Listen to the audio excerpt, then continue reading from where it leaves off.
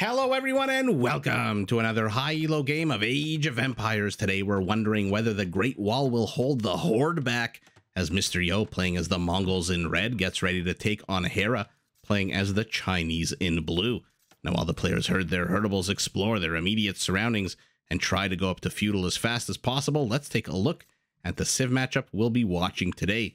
Now the Mongols, we saw them recently actually played by Hera against Mr. Yo, are an incredibly fast cavalry-centric civilization.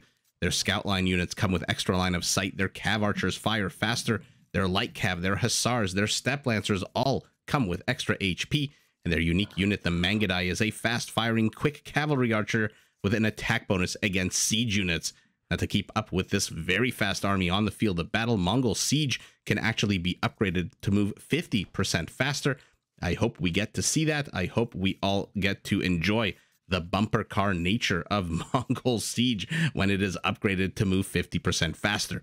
Now, to help support their military endeavors out on the map, Mongols, Mongol hunters do work 40% faster, and their houses can actually be upgraded so they don't lose population space if they get destroyed.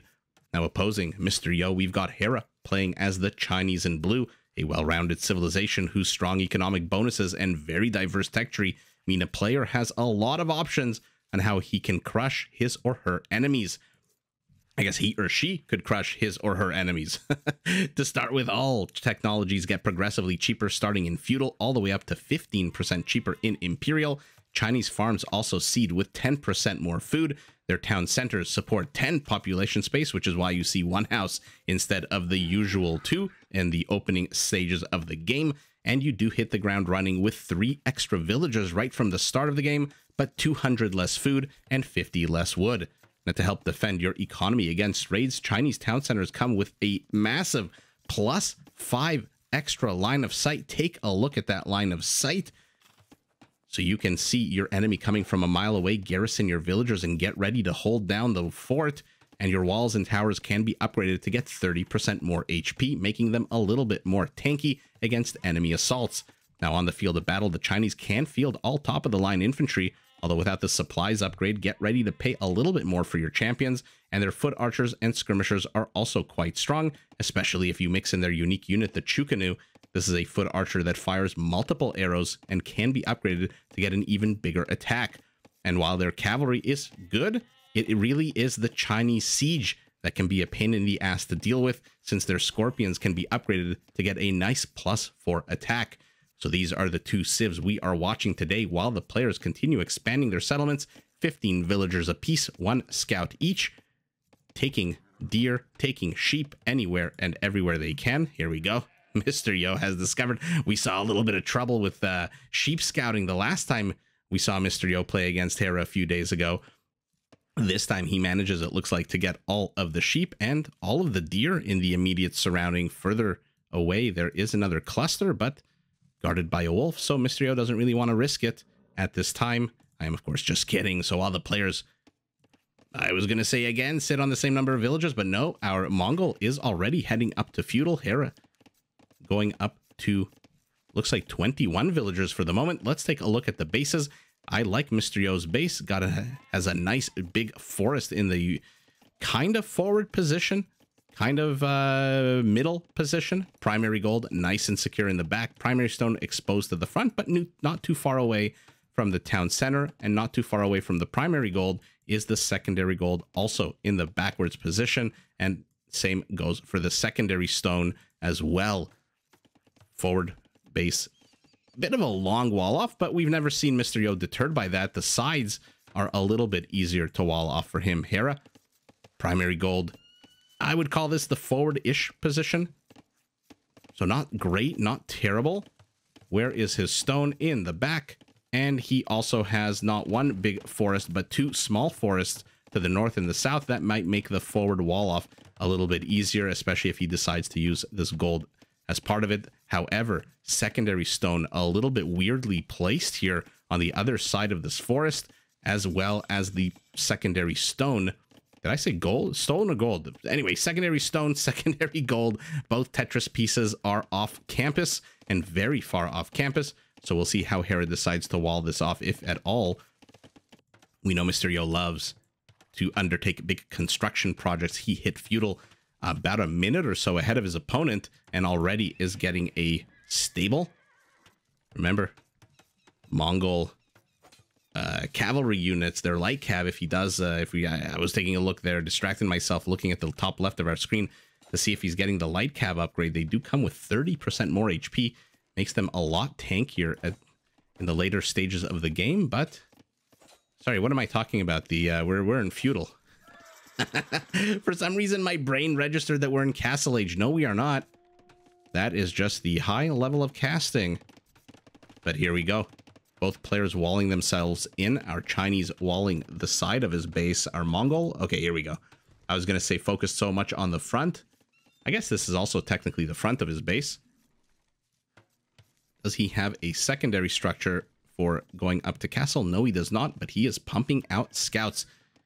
Now, just like the Turks, the uh, good strategy for the Mongols is to keep these guys alive as long as possible. So if you do eventually upgrade them to light cav in Castle Age, uh, you, you know, they automatically come with 30% HP, 30% extra HP. The Turks, the same kind of philosophy, keep them alive as long as you can, especially into Castle Age, because then they automatically become light cav. You don't have to pay for that upgrade, but 30% more if he does. He's got four out. I'm surprised he didn't go this way Although maybe not surprised, he's already explored this way. There was one juicy villager here before the spearman showed up, was ripe for the taking. And now the scout will see the spearman, will see the villager as well, building the house. And will he move back? One scout already has half of its HP. And Hera here, just circling around the map. Oh, tried to wall these scouts in instead ended up losing the villager and I believe the stone as well. I don't think he canceled that uh, gate here. I think he lost the stone, if I'm not mistaken. Wow, so a bit of a sour start here for Hera, who now is down two kills to zero, one of which is a villager. And Mr. Yo using that Chinese cavalry that I said was good. Not not the best, good upgrades, of course. Uh, I've always been reminded. I think uh, Edelweiss, you reminded me that the uh, technologies, the upgrades are cheaper, which does make them above normal. Better than average, I think, is uh, the expression I'm looking for. But here we go. Four of them are engaging into a spearman. The spearman, will he get lucky? Oh, almost one poke away. The villager, though, gets the job done, gets the first kill here for Hera. But then she ultimately pays the price. Hera scouts are moving in as well. Mr. Yo disengages. I wonder why. I know you've got one scout with very shitty HP, but the other two are full HP, I believe. Yeah, they are. I think Mr. Yo could have easily uh, taken that fight. But in any event, I guess he's more interested in scouting around the map. His map vision is good. He's seen the direction of attack, but the edges of the map are uh, Terra Incognita for him. Speaking of Terra Incognita, look at Hera's vision. Holy moly. This is not great vision for our Chinese, but does he care? He is turtling up. He is in uh, defense mode based on the way he's constructing these barriers. Mr. Yo doesn't care about barriers. His scouts are in. We'll see how long they're in for. The weaker one gets targeted immediately. Hera is now chasing four on three. Although, who's kidding who? It's more like four on two in a bit. They cannot escape from the east. They cannot escape from the west. So these scouts are basically trapped in here. We'll see if Mr. Yo micros them. We'll see what he does, or if he just uh, ends up losing them. Hera moves to cut him off. Brilliant move there by our Chinese. Manages to get another scout, but one lies dead of his own.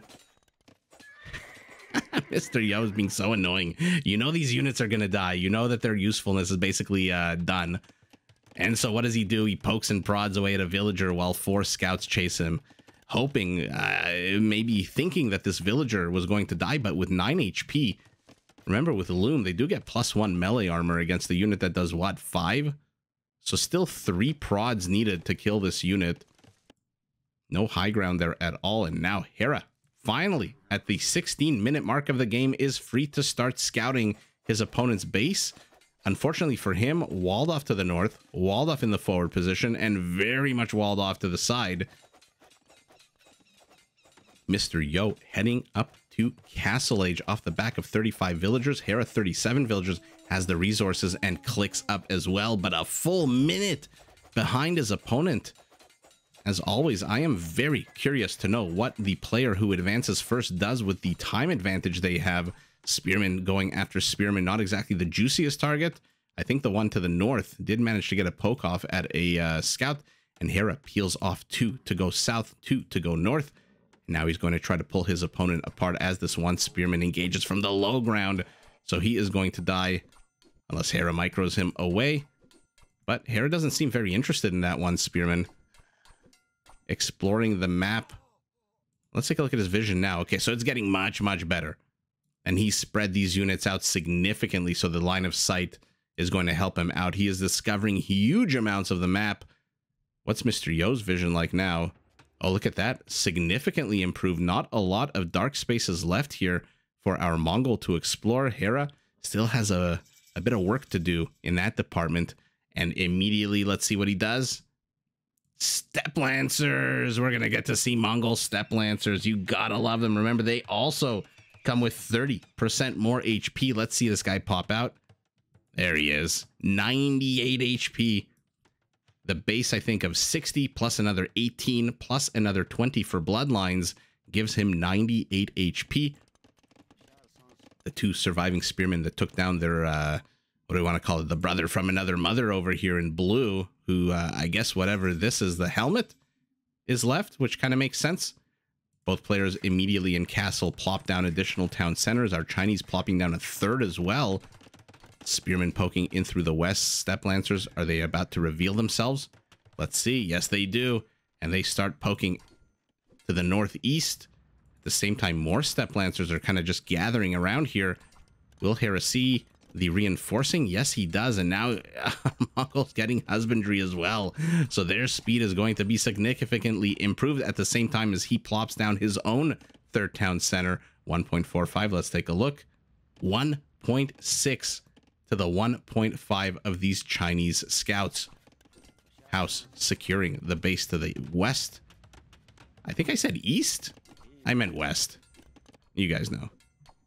I swear I know my directions. Steppe Lancers poking and prodding. Hera loses one. Will he lose a second? Technically, these Steppe Lancers should be able to catch up.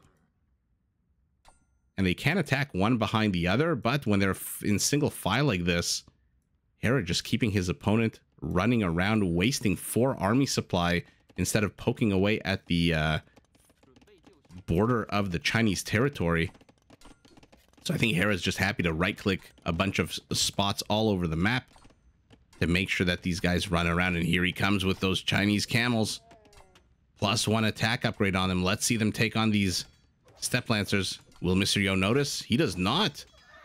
One cav one cavalry unit dies immediately. The second, oh man, how fast they die. What's the uh what is it? Plus nine, right? Yeah, plus nine against cavalry. oh man. Which means I guess two extra pokes and prods needed, right? To take these guys down because of their 30%, their extra uh, 18 HP.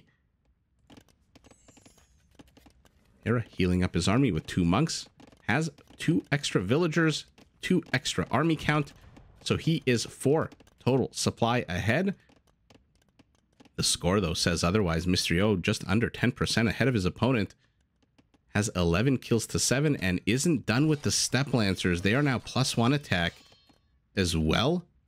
This is the moment he's investing in farms. Will he lose a camel? Chinese camel stays Chinese, stays blue. Dabudi dabudai. No conversion for them just yet. Man, oh man, can they run the hell away from monks. And there is nothing the monks can do to catch up. And look at the mobility of the stepland, uh, the uh, scout become a light cav. And now husbandry for uh, Hera as well. Once this finishes, I think these uh, light cav are going to be able to run the hell away from these steppe lancers very quickly. But even with this big body of six, I mean, I think it was five at the time. I think the sixth just joined the light cav, the scouts, man, oh man, can they maneuver around units. I mention this every time we watch an arena game when we enter phase two and uh, players start fighting over relics. A fourth town center you can surround your monks with as many scout cav as you want. If there is a gap, your opponent will find it, and your opponent will use that gap to absolutely wreck your monks. Army counts almost identical, villager counts almost identical. Players have disengaged. Let's take a look at their infrastructure when they've done so. Two stables now, three relics for Mr. Yo, one relic it looks like for Hera. Hera's base, one stable only. And that's basically it from the advanced. I mean, they both, uh, of course, have the barracks. They need those prerequisite structures. And Mr. Yo is going to keep an eye on his opponent. Oh, will he catch the monkey? He goes straight for it. One, two, and a third. And the monk lies dead on the field of battle. And oh, that one range makes it look like they uh, they killed him from a distance, which they did. And now look at this Mr. Yo guarding the relic against monks. Oh, man. Monks, beware. There are scouts uh, for the Chinese, the Mongols, rather, as well. Two more monks die. Oh my goodness. We are we watching an arena game? Okay, he sees the camel. He knows he has to back away. This camel means business. He is absolutely going to destroy this scout cavalry unit with zero melee armor and the players yet again disengage. But whether or not Mr. Uh, Mr. Relic, oh my goodness, Mr. Yo gets this relic, doesn't really matter. He's ahead in the relic game anyway. A bit of a third wall off going up here. I didn't even notice the blacksmith the first time I looked at it. Just blended into the houses so well. Now he's getting a whole bunch of stone. 13 villagers. Hera at 603 stone himself. And oh no, this is what happens in the later stages of the game when you have so many villagers, you don't micro each individual one like in the early parts of the game. Especially when forests form part of forward wall offs and the Hera immediately plugs it up with a palisade of all things. Not not a stone wall. Interesting. Okay. So hoping that 250 HP of wood is going to with uh basically deter his opponent. we'll see if that actually happens, especially since there's a gap over here as well.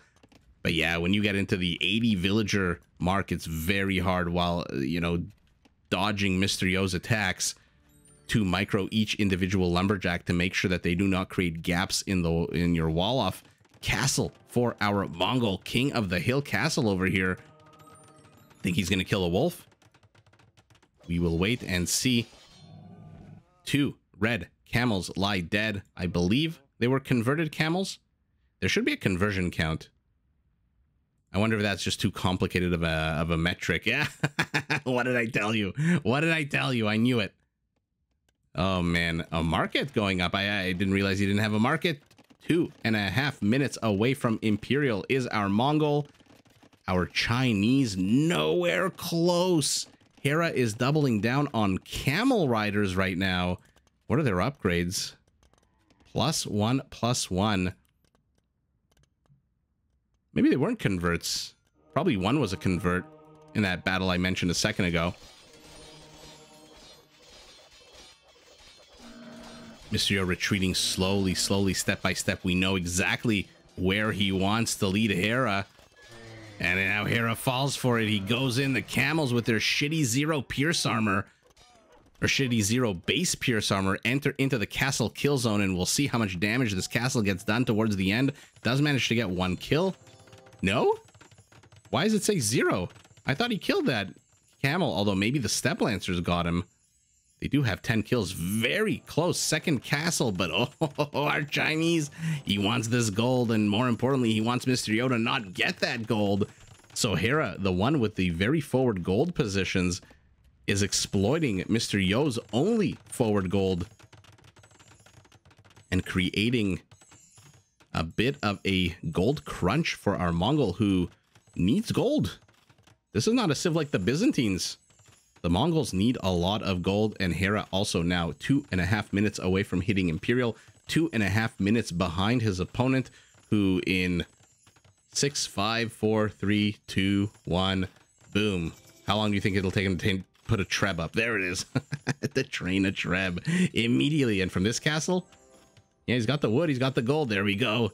Another monk is going to get sniped. Oh, right before he enters the castle and Hera reveals his hand here, showing all the camels as they pop out of the castle. So Mr. Yo knows He is going up against a huge camel force.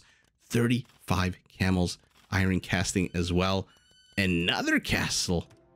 Mr. Yo is creating a bit of a uh, cup, a bit of a parabola. No, not a parabola. Yeah, the right angle, the right side of a parabola here in castles. And by the way, amazingly placed castles, all three of them. Maybe this one on this hill, but right behind, but neither here nor there. Uh, we'll see if this castle goes up. Bracer extends the range of that castle. Those camels probably have a thing or two to say about those villagers.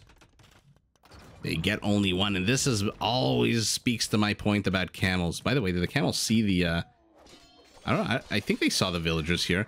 This speaks to my point about camels. Man, oh man, are they a purpose-built unit taking down cavalry. Except if you have civs that have features and bonuses. Oh, sour. Sour loss of a castle for Hera. Like the Hindustanis that attack faster, the uh, Gurjaras that get extra bonus damage. But just your basic camels, they suck at taking down villagers. They suck at taking down buildings. But Mr. Yo is going cavalry. Uh, well, actually, let's take a look. Four steppe lancers and one light cav. The rest, it kind of looks like he's trying to go uh, transition into Mangudai, going up to 14 of them. Now we know why he built three castles. I thought it was for more of a defensive posturing. Little did I know he's actually interested in going up to 17 Parthian tactics as well. So we're going to see a Mangudai transition from Mr. Yo always a big question mark whether Mr. Yo will go meme build, you know?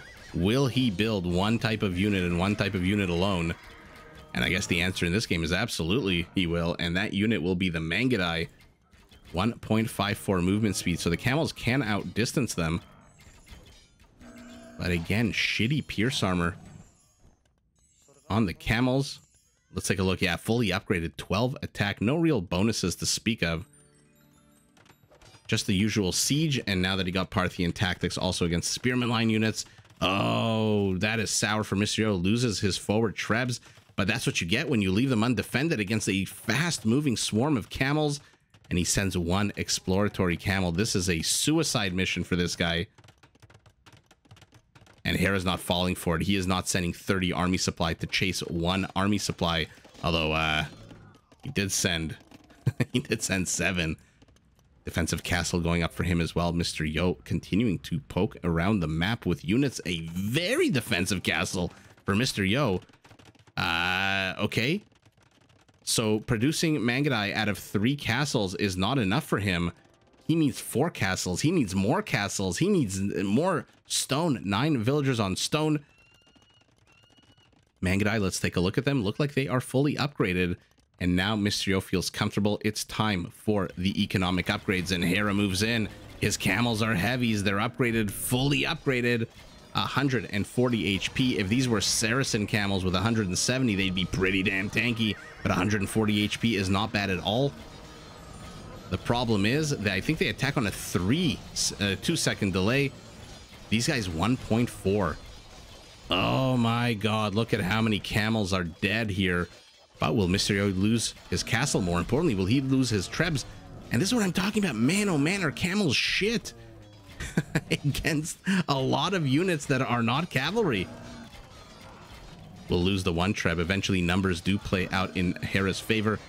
And the second treb should die as well, even though it's being repaired by a good number of villagers who now also died.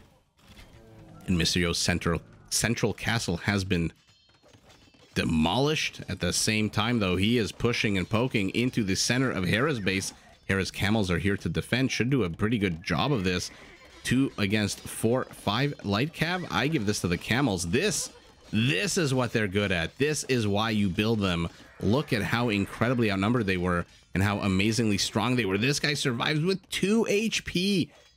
But against Trebs, Mr. Yo returning the favor says I lost two of my trebs, so I'm going to take two of yours. We'll get one, but then the force here, the expeditionary force, dies 49 army count to 30, 120 villagers to 115. Hera needs to increase camel production, and that is exactly what he's doing. Eight camels going up to almost 30. Players have disengaged. Where, oh, where are these 34 Mangudai? They're in the back, and look how bruised and damaged they are. If Hera can just close the gap and get face to face with these guys, his camels might actually absolutely wreck them. They're in the castle. They are healing up. Their HP is only down 450. These Mangudai down about 600 HP. And now, oh man, oh man, nomads. I think this might be the first time in the in the history of my channel I've seen anyone research nomads. Oh my goodness, remember I said the Mongol houses themselves can be upgraded? so they don't lose population space? Man, oh man. I mean, it's not an expensive upgrade, but we I don't think I've ever seen it actually researched. Oh no, Mangudai on the high ground. That 12 attack becomes an 18. Or sorry, no, I, oh my goodness, I have Tatars in my brain. That 12 attack becomes a 15. And they are just laying waste to Hera's camel population. Holy moly, is the castle going to survive? Yes, it is on the high ground. But man, do the Mangudai take a lot of camels with them. Oh man, uh, Hera's camels are having a very difficult time finding purchase against these Mangudai. 17 Mangudai left, 29 camels on the menu for our Chinese. And now, okay, the positioning of them is fantastic. He closed the gap, but too few, too few. Mr. Yo trying to return the favor, one treb down. These two are shelling away at their counterpart and it dies as well. So now Mr. Yo says, you know what? I know you can't attack my castle anymore. I'm just going to reallocate these villagers. Get your butts back to stone. Doesn't he have already two mining camps here? Why is he building a third? okay, maybe maybe in the heat of the battle, we'll take a look at his APM at the end of the game. Maybe in the heat of the conflict, he didn't realize that he already had two mining camps here. Five villagers on stone. So basically one, two, three are the only castles we're going to see out of our Mongol for a while. And now he's building siege. And siege engineers. Is there going to be a transition here? Uh, does he really need it? He's got the Hussar meat shield. He's got 23 Mangudais. And now this is probably the most annoying part of the game for Hera, where he now has to start dodging Hussar raids and not your average this is not your grandmother's Hussar. This is a Hussar with 180 HP, and the Chinese cannot respond in kind. They cap out at a light cav, and Mr. Yo goes immediately for the resources. the same time, he is shelling away at this castle. Two horses behind here. Uh, pretty calm horses, pretty uh, nonchalant about uh, the wanton destruction going on around them. The Hussars, Hussars, hello, you're leaving behind a nice colony of villagers you can kill. Camels cleaning things up to the west. Camels cleaning up things to the center. But what that means is Hera's army in the main portion of the battle is tiny. 23 camels, 35 Mangudai. Is that enough to one-shot this camel, by the way? 4 pierce armor against uh, 12 attacks. So 8 damage. 140 is what? 30... 33? Yeah, it's enough to one-shot a camel.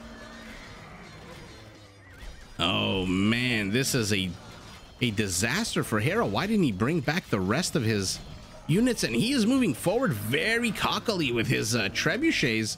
Two of them will die immediately. Oh my goodness. Oh yeah. Oh yeah. Oh yeah. What what can you do here? I think Hera engaged just a fraction of a minute too early.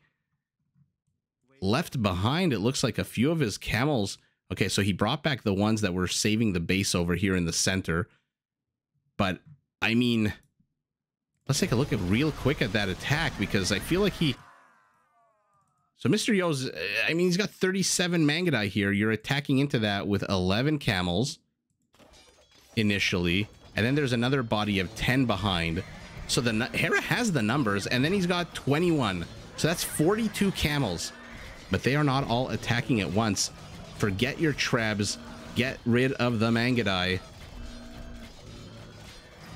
So Hera here, I don't know if it's uh, indecision or if it's uh, a part of the strategy that he wanted to save the trebuchets above anything else.